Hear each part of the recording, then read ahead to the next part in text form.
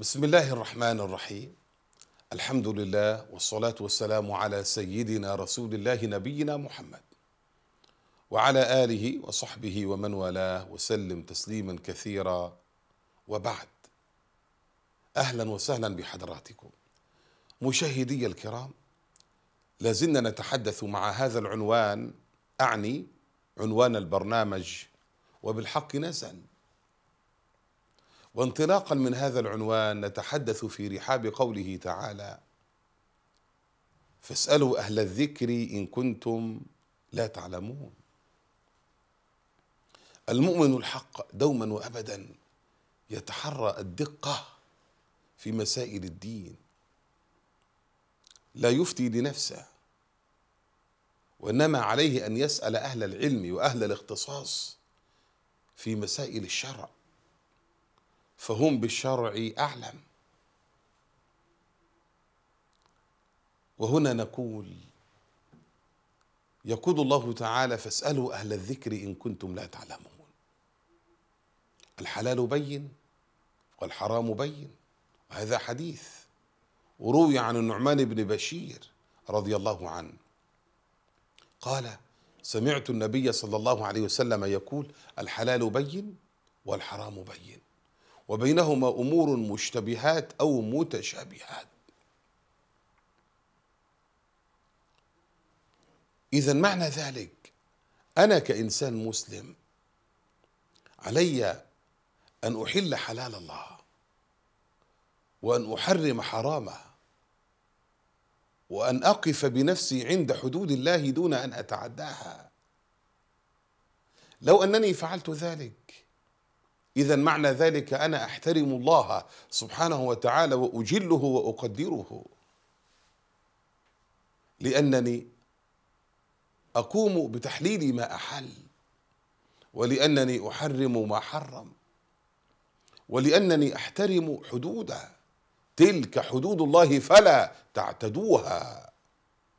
لأنني إن تعديت حدود الله فقد ظلمت نفسي. وأسأت الأدب مع ربي حاشاني أن أفعل ذلك.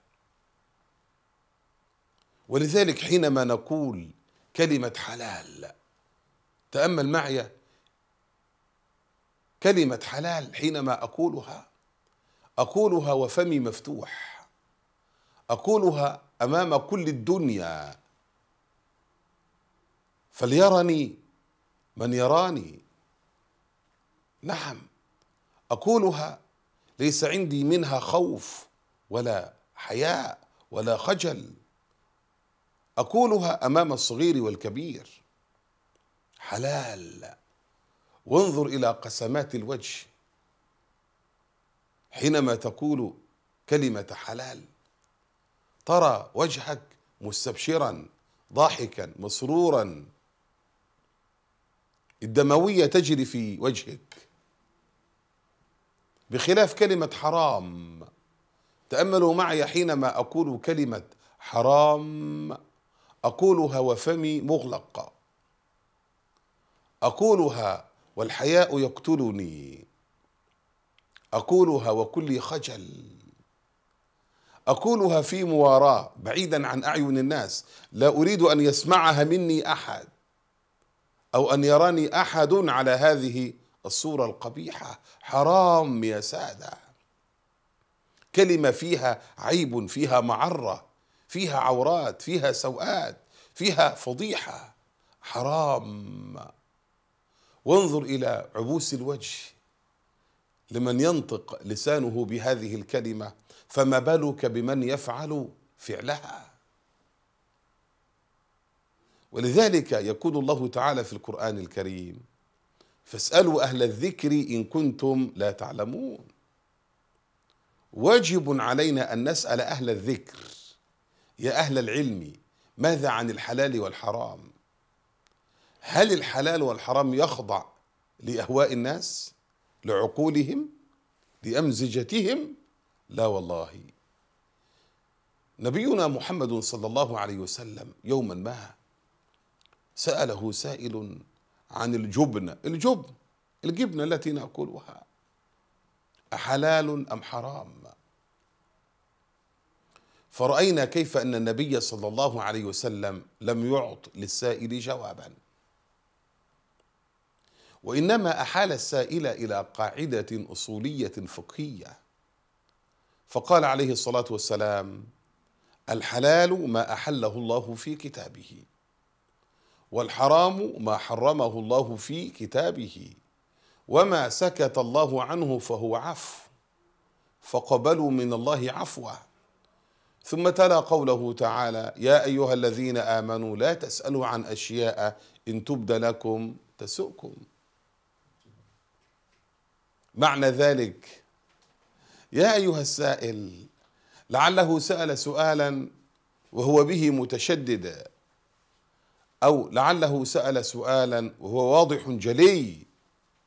فقال الرسول الحلال ما أحله الله في كتابه والحرام ما حرمه الله في كتابه وما سكت الله عنه فهو عفو.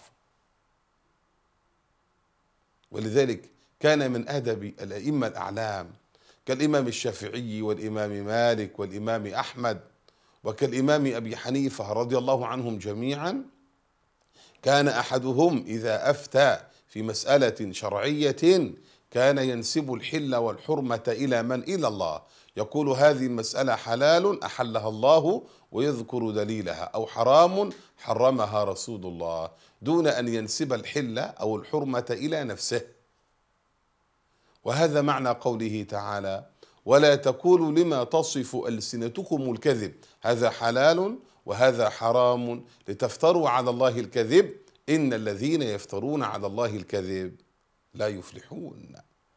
فيجب على الإنسان أن يتحرى الدقة في أحكام الشرع. قال تعالى فاسألوا أهل الذكر إن كنتم لا تعلمون.